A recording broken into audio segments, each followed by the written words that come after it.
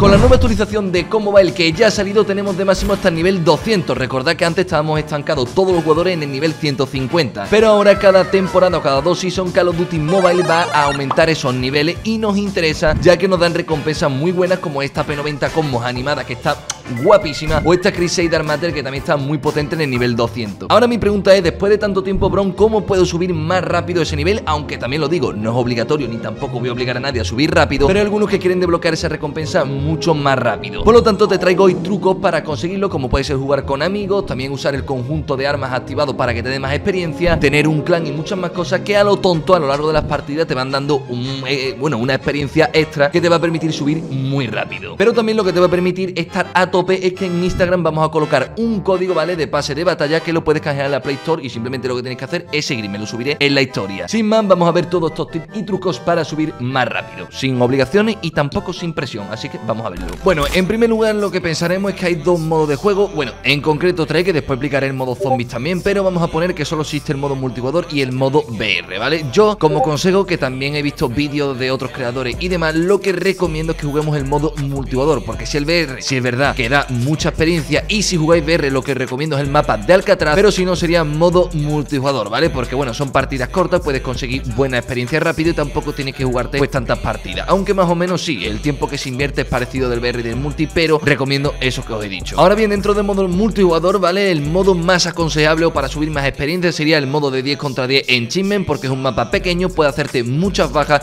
y también si es partida de punto caliente duran bastante las partidas y también consigue experiencia por el tiempo, que eso es algo que explicaré más adelante. Pero eso sería el mejor modo para el modo multijugador. Y sí, mucha gente preguntará, oye Bron, ¿y Ranked? ¿Ranked da un extra de experiencia? No, ¿vale? No da extra de experiencia, ya lo he comprobado y no, no da extra de experiencia. Una vez explicado esto, vamos a pasar a cuáles son los requisitos pues para subir más de nivel de experiencia del jugador y como veis aquí pone conjunto de armas, eliminar tiempo, victoria, clan amigo, pero vamos a comenzar por el conjunto de armas. ¿Cómo se consigue ese extra de experiencia? A ver, un conjunto de armas, ¿vale? Simplemente se detecta porque como veis en el nombre pues sale de un color verdecito, ¿vale? Esto lo podéis buscar incluso en la colección del armero y os van a salir las armas que tenéis de color verde si tenéis algún set. ¿Y qué es lo que pasa? Pues que hay cierto conjunto de armas que como veis la parte de detalle pone que incrementa, eh, bueno, la experiencia de multijugador, ¿vale? De una partida multijugador en un 25%. Es decir que lastimosamente no ocurre en todos los sets de armas porque yo tengo algunos pero no nos dan ese extra, pero os voy a decir sí cuáles son los que te permiten pues aumentar esa experiencia. Sería este primer conjunto, el Chain Reaction, ¿vale? Que este, bueno, pues la Chopper, ¿vale? Sin más, no, no, tiene más. También tenemos el del Low Loud que se llama High Noon, ¿vale? Que bueno, pues simplemente también nos da ese 25% de experiencia en el multi. El Melting Point, que es el de la QQ9 Melting, ¿vale? Bueno, o derretida. El set de Rambo, que si lo tenéis os va a dar un 25% de experiencia. El set también del espíritu del Guardián, que bueno, pues lo tenéis por ahí, que, que si no me equivoco creo que es del Artis 50, ¿vale? Así que ni tan mal. Y por último el de la Cordite Cero, que este yo creo que también lo tendrá muchísima gente porque la compró, eso me acuerdo. ¿Qué es lo que ocurre? Que cuando activamos este conjunto de armas y a lo mejor tenemos dos o tres activados, nos van a dar pues un 25% cada una. Es decir, si tenemos por ejemplo cuatro sets completos de esto, nos van a dar un 100% extra de experiencia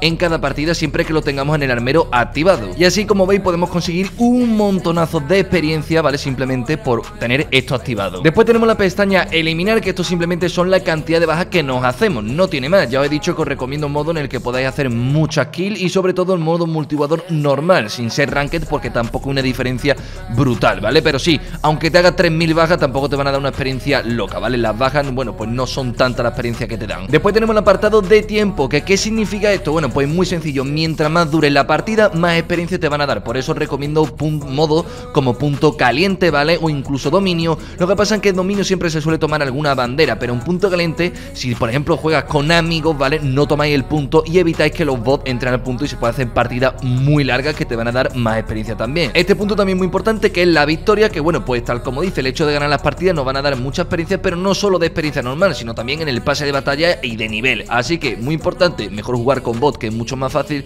pero lo que os digo, tampoco estoy obligando a nadie a usar este método porque esto simplemente es para la gente que quiera subir un poquitín más rápido ese nivel. En el quinto punto tenemos el clan y este sí es verdad que os lo recomiendo obligatoriamente porque mira, es gratuito, no cuesta nada y simplemente por unirte a un clan te puede llevar 700, 800 de experiencia o incluso 1000 por partida y no hace falta que juegues con miembros de tu clan, simplemente por estar en uno, ¿vale? Entonces no hay un esfuerzo grande y te ahorras un montón de tiempo por estar apuntado a uno. Así que si no tenéis clan o se queréis unir al mío, ¿vale? Os lo dejo por aquí, hay como 40 espacios libres para que podáis entrar y bueno, simplemente ya por eso, por entrar, que no he puesto restricciones, ya se lleváis experiencia extra. Por último tenemos el de amigo, que este, bueno, pues si no, no sale tan rentable, es decir, es simplemente el hecho de jugar con amigos te va a dar más experiencia, bueno, se agradece, ¿vale? Si tienes 3 o 4 miembros o 3 o 4 amigos en tu partida juegas 5 versus bot, por ejemplo, 5 amigos, pues sí verá que te va a dar como 300 o 400 de experiencia extra, así que no está mal, pero bueno, tampoco una diferencia brutal como por ejemplo respecto al clan, ¿no? Pero siempre ayuda, de hecho, el hecho de jugar con amigos. Yo estos días estaré en directo también en Face, ¿vale? Jugando con vosotros, así que si queréis unir a la partida encima, pues ganar una experiencia extra, ya sabéis. Otro método también para tener experiencia extra, de hecho un 10% de experiencia extra en todas las partidas que haga es el, bueno, pues la suscripción a la fuerza terrestre, pero yo no obligo a nadie a pagar nada, por eso lo he dejado para el final,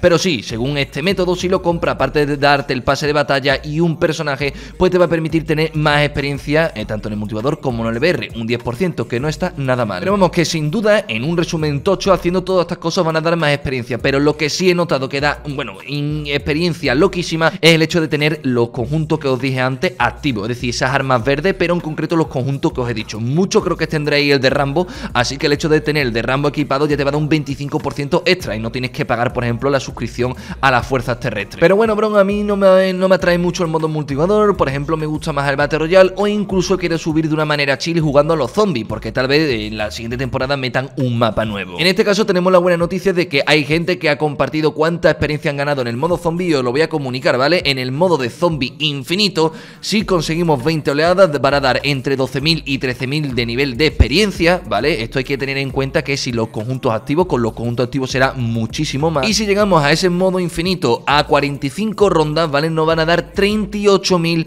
de experiencia, ¿vale? Que sumándole a los conjuntos, pues se puede ir a 70.000 o 80.000, casi dos niveles. Pero claro, también es en una o dos horitas que está lo que sería jugando los juegos. Esto es para hacerlo de una manera más tranquila, pero si alguien se preguntaba, oye, bro, ¿cuánto dan en los zombies? Pues eso es lo que dan más o menos de media, aunque también depende de todos los zombies que mate y todas estas cosas. Así que en resumen, después de todo lo que he explicado que tenéis que tener en cuenta, recordad que en el modo multijugador lo más rentable es un 10 versus 10, en el modo de VR el mapa de Alcatraz porque te hacen muchísima más y duran menos las partidas, y también por último en el modo zombie, pues el modo infinito, mientras más ronda, más experiencia. Y además ten en cuenta que el tiempo que esté vivo en el modo zombie también te va a sumar. Así que ya podéis vosotros elegir el método que más os guste, simplemente podéis subir el juego, yo de hecho voy a subir el juego normal, sin preocuparme por el nivel, ¿vale? Pero si tengo en cuenta esos detalles de estar en un clan, de tener lo que sería el tema de los amigos, de por ejemplo tener la suscripción de la fuerza o algún conjunto activo, pues bueno, tiempo que me reduzco para conseguir esa recompensa, ¿vale? No estoy obligando a nadie hacerlo súper rápido porque bueno, parece que salen las cosas y ya queremos tenerlas al momento. Pero sí creo que merece la pena bastante esta recompensa nueva que están poniendo y además ya nos han avisado de que van a ir aumentando de niveles cada temporada o cada dos temporadas, por lo que supongo que en algún momento llegará al nivel 1000 y no quiero que, bueno, que nos quedemos atrasados los niveles. Así que espero que haya gustado un montón el vídeo y nos vemos en el siguiente. Adiós.